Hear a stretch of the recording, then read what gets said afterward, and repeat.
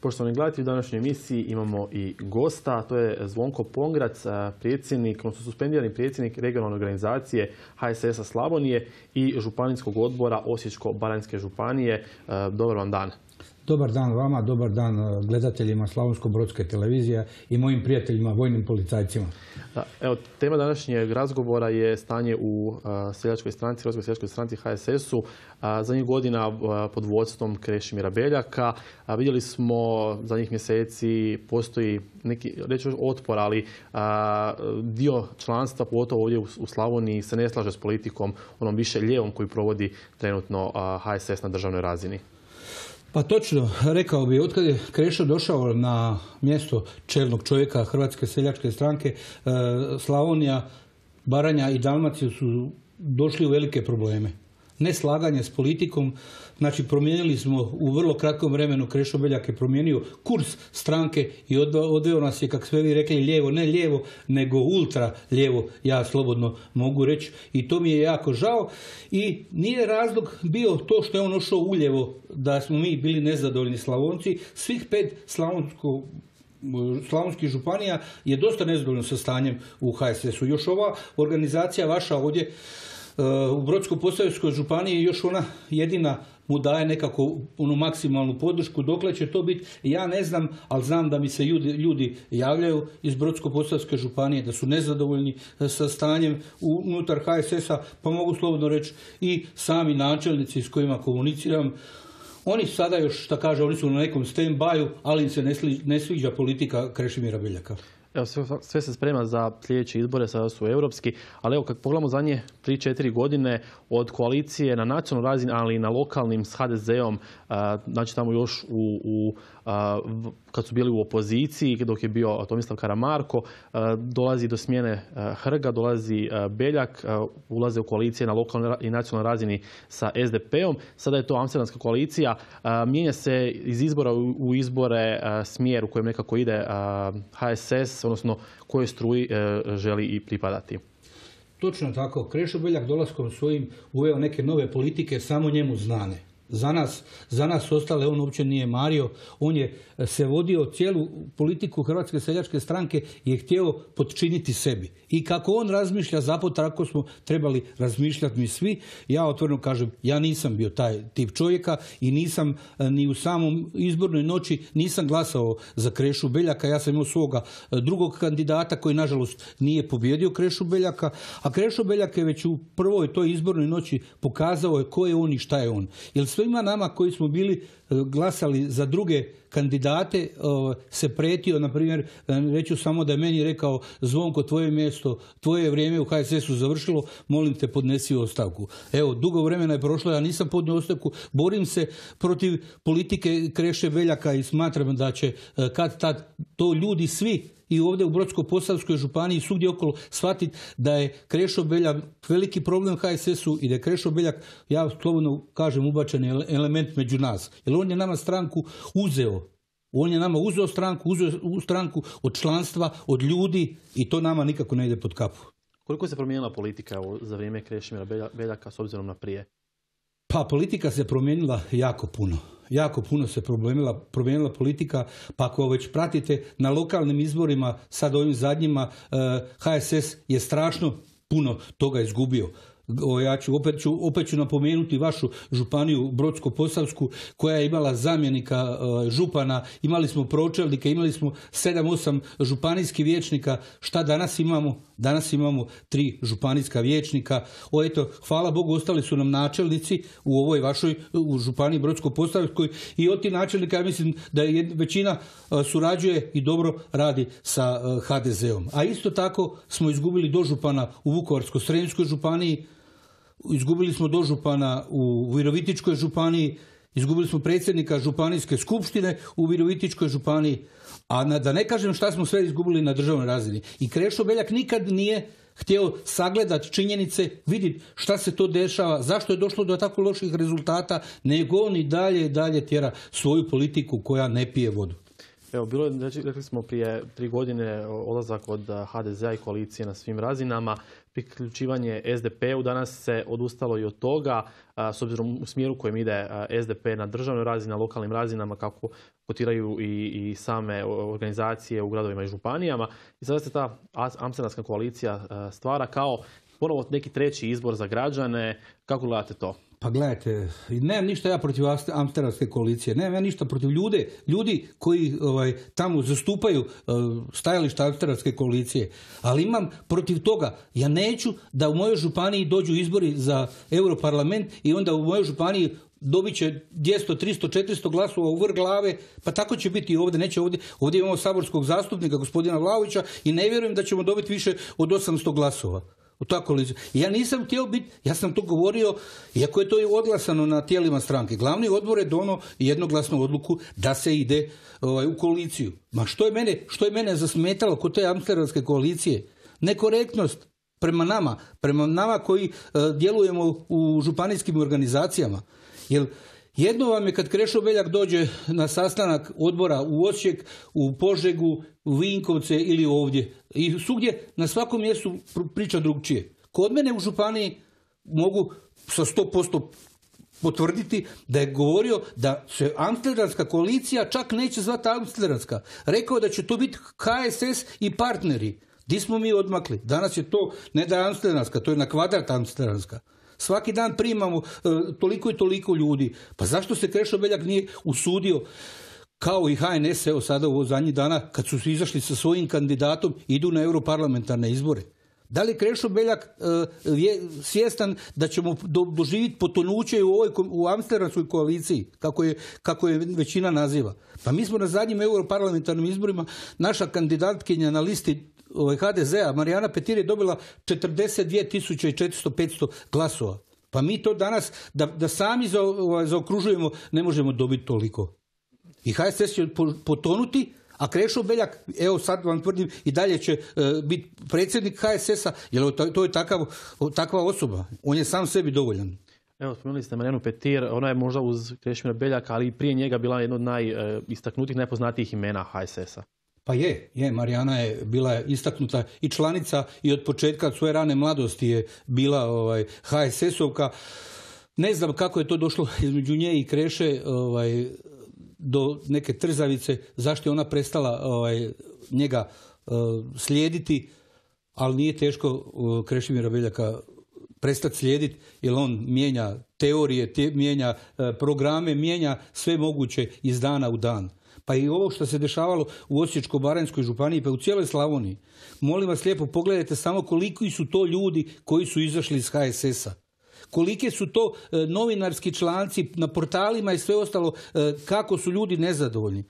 Pa ja vam mogu sada uđete u Google i vidite koje su to sve organizacije bile nezadovoljne. Pa kad bi pisalo, non stop je pisalo da nezadovoljna ova organizacija županijska, nezadovoljna ona, ali niko to od naših članova na terenu nije ozbiljno shvatio. Mi imamo, mi imamo problem da u Dubrovniku imamo predsjednika i par članova. Splitu imamo predsjednika županijske organizacije i nešto njih na otoku. Imamo u Šibeniku predsjednika slabo članstvo. U Zadru uopće tako rekući imamo samo predsjednika, nemamo. I u svim tim, tim županijama su ne, napravljene nestatutarne izborne skupštine. Podnijela je baš osobno, kad ste već nju spomenuli, Marijana je podnijela ovaj, ministarstvo uprave nepravilnosti koje su se dešavale. I mi smo toga svjesni da je toga bilo i bit će. Biće i sad na ovoj glavnoj skupštini uh, koja je zakazana 9.2. Biće toliko nepravilnosti da će imati ministarstvo uprave što raditi. Evo, kako se u HSS-u trenutno odnose prema onima koji izraze nezadovoljstvo sa politikom koju provodi e, čelništvo i sami ste, evo rekli, suspendirani na svojim funkcijama u stranci? Ma nema vam. U HSS-u, kako kaže Krešo Beljak, tako vam je. Slavonija je već u par navrata pokrenula neke inicijative za opoziv njegov, za smjenu uh, i svega je tu bilo, nema Krešo Beljak kako kaže, tako bude. Nažalost, nažalost uh, centralizirao je sve što je mogao centralizirati unutar uh, HSS-a. Mi se na državnoj razini borimo protiv centralizacije. Evo on osobno a nama je centralizirao sve u Zagrebu. Mi više ne možemo dobiti autobus, ne, ne smije županijske organizacije, ne mogu napraviti tiskovnu, meni osobno je zabranio tiskovnu da napravim bez njegovog znanja. Znači sve je centralizirano, ne možemo mi se protiv toga boriti. Mi imamo jedan jedini problem kad Krešo Belja kode, bojim se da će onda biti svima kasno, ali njegov odlazak što prije da bi HSS se mogao vratiti na one e, puteve kojima je išao do tada. Hoće li sljedeći izbor, znači evropski izbori, pokazati zapravo kako je stanje među e, glasačima HSS-a u Slavoniji i jesu li ih potezi zadnjih godina otuđili od te stranke? Kome će oni dati svoj glas? Gledajte, mislim, naši članovi HSS-a i isto ja kažem kao i ovi isto su mi kolege vaše iz vaše županije rekli i naši su na stand by i čekaju kako će se odvijati situacija. Situacija se ne odvija dobro, ali ćemo sigurno znati nakon europarlamentarnih izbora što i kako je Krešo Beljak radio, što kakve rezultate imamo, ali to njega ne sekira, ja sam rekao. Imali smo na lokal, sad na ovim zadnjim izborima smo imali lokalne rezultate ispod svih očekivanja. I on nije nikoga ovaj, zato prozvao, nikoga nije ovaj, suspendirao. Tako da jedini spas je odlazak Kreše Beljaka iz stranke i to je jedini spas za HSS. Da, e, vi svojim ovim protestom zapravo želite ukazati na stanje da se sluša članstvo.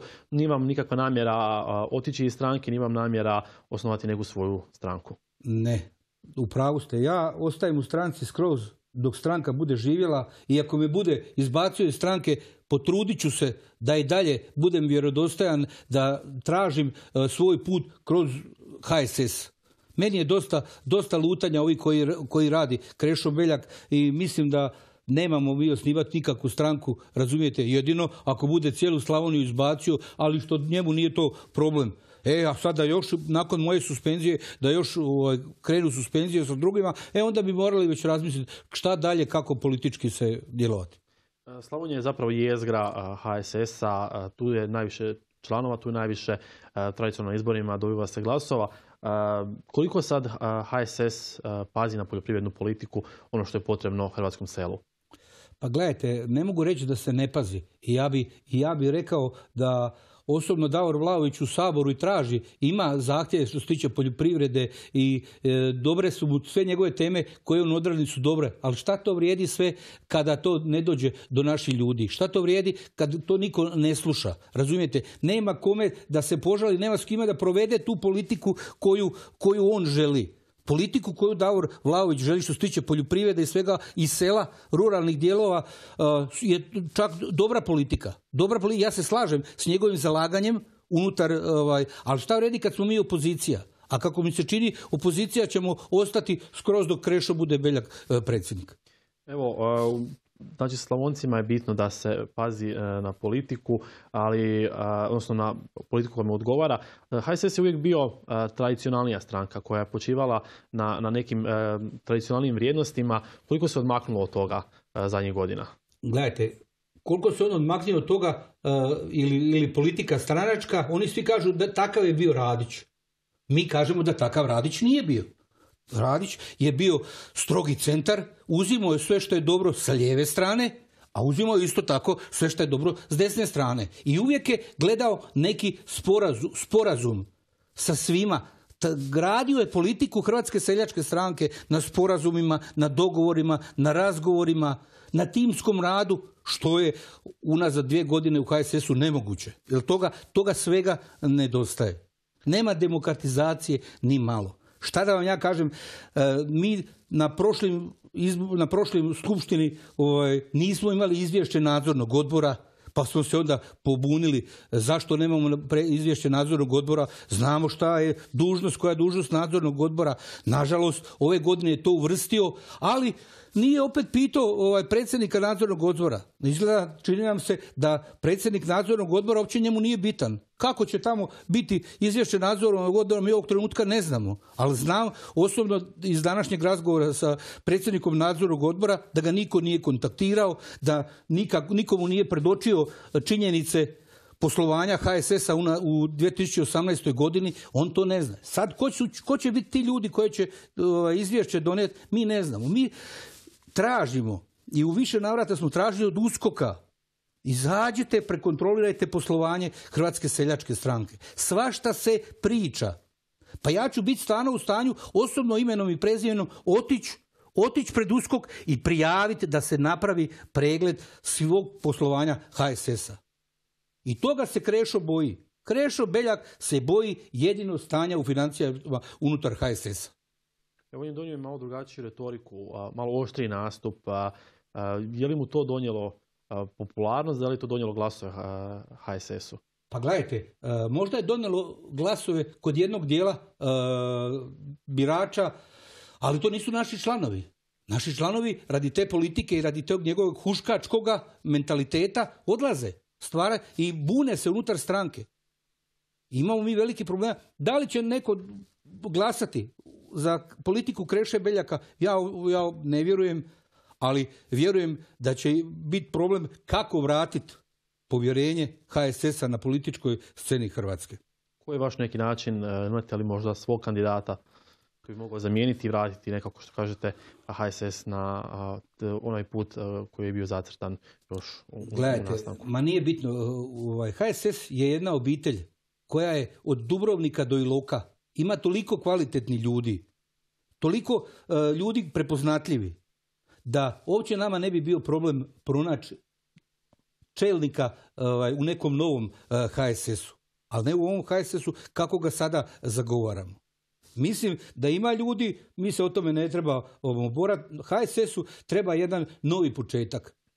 Krešo Veljak je krenio s nova republika, republikanizam, sve je to dobro. Ja, ja sam se s tim složio sam i, i kažem, treba, treba nešto pokrenuti, treba da bi ovi mladi ostali u Hrvatskoj, treba nešto raditi, treba nešto činiti, ali ne na tak, taj način ko što radi to Krešo Beljak. Jer vi, on se prodaje pod ljevičara, HSS nikad nije bila ljevičarska stranka. Ali i da jesmo, ja bi ga i prihvatio i kao ljevičara, ali imamo u tim, među tim ljevičarama imamo normalni i nenormalni. Pa da li je, da HSS ide u te nenormalne ljevičare? Pa to nama nikako ljudi ne odgovara.